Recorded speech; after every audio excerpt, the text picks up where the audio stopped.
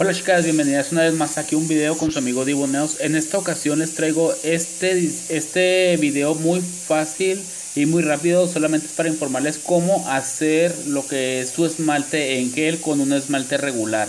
Bueno, aquí como pueden ver en pantalla estamos presentando, les estoy presentando el finish gel. Este finish gel que tenía yo ahí entre mis cositas ya no lo utilizaba, ya me quedaba muy poco. Y este esmalte negro que es regular. Ustedes pueden llegar a hacer sus esmaltes de gel sin gastar tanto y utilizando lo que ya tenemos en casa. Puede ser un esmalte regular del color que ustedes quieran, pero siempre y cuando sea un top gel transparente de lámpara. ¿Eso para qué? Para que nos quede nuestro esmalte semipermanente ah, muy, muy, muy bien. Aquí les muestro también otro tipo de esmalte que es de la marca NA. Este es un color vino y este también lo vamos a estar haciendo. Vamos a estar haciendo dos tipos de, tipos de esmalte en dos tonos diferentes para que ustedes vean qué tan fácil es hacer lo que es un esmalte semipermanente con lo que nosotros, como les acabo de decir, tenemos en nuestra casa sin gastar tanto. Este es este, un top coat de un top o cómo se le puede decir, un, un finish, gel, finish gel de Organic que también me quedaba muy poco. Ese fue el cual yo vacié en ese vasito transparente que era de un esmalte anterior. Lo que hice fue tirar el esmalte poco que me quedaba y vaciarle lo que es el, el gel finalizador transparente en ese contenedor. Aquí a continuación vamos a estarle aplicando lo que es el esmalte regular ya depende de ustedes qué tan subido lo quieran o si lo quieren un poquito más bajo. Pero yo en este caso, como pueden ver, yo le eché lo que es la primera parte esta y ahorita ustedes a continuación van a ver. Ya después yo de revolver.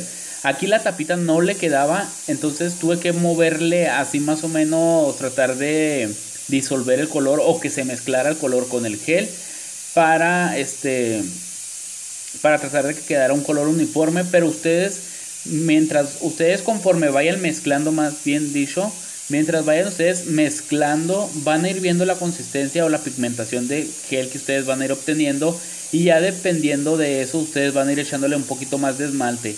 Recuerden que siempre debe de ser más, más este, más gel, gel de lámpara que esmalte regular. Yo en este caso, aquí como pueden ver, ya lo mezclé muy, muy, muy, muy bien pero lo que me pasó es que aquí a mí no me gustó lo que es el efecto que dio. Me dio un efecto como si fuera, ¿cómo, cómo se les puede decir? Un vitral de esos transparentes.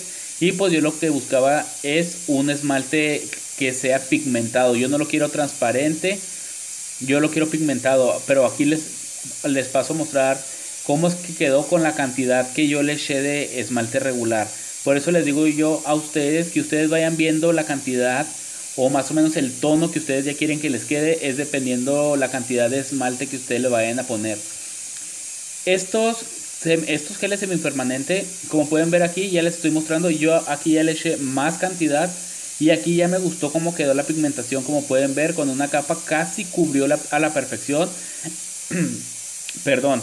Y por lo regular en los geles semipermanentes pues se dan dos capas. Aquí también la brochita no me ayuda muy bien, como pueden ver está toda doblada, toda media rara. Es porque ese gel, ese esmalte donde yo la tenía, pues ya no lo usaba y ahí se estaba deteriorando solamente.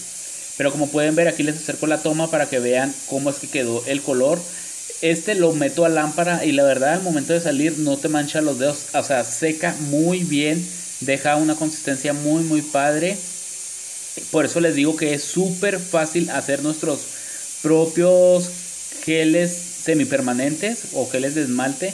Y aquí a continuación les, vamos les voy a estar mostrando el gel negro y que lo vamos a estar haciendo con este otro, con este otro gel y esmalte regular en tono negro.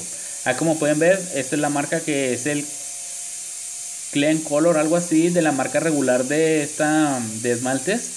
Y este aquí lo vamos a estar vaciando. Así como pueden ver, vamos a estar vaciando un poco más. Vamos a vaciar, vaciar.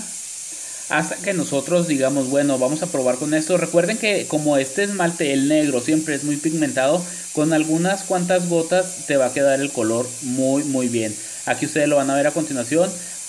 Recuerden que la brochita que traigo pues no es la más la mejorcita, por eso se ve así lo que es el gel, pero pues ustedes obviamente lo van a lo van a hacer con esmaltes que ustedes pues que tengan su brocha bien, que tengan una consistencia muy muy pigmentada. Yo les sugiero que sean este esmaltes regulares regulares pero bien pigmentados para que no estén batallando al momento de la aplicación. Aquí como pueden ver así está quedando el gel, solamente como este gel este video solo se los hice como para darles la idea de cómo hacer sus geles semipermanente.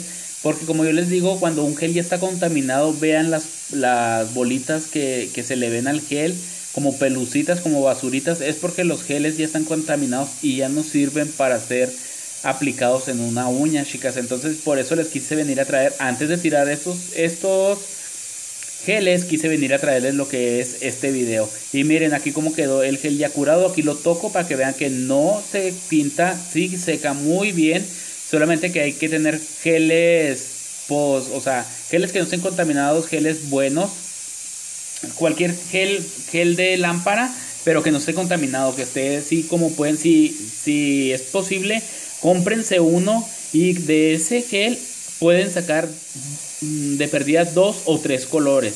Aquí les muestro lo otro. Yo esperando que este video les gusta. Si es así, regálame un like. Suscríbete al canal si no estás suscrito y deja tus comentarios en la parte de abajo. Este, cliquea la campanita de notificaciones y recuerda vivir para soñar y crear para inspirar. Nos vemos hasta la próxima. Chayito Valdés.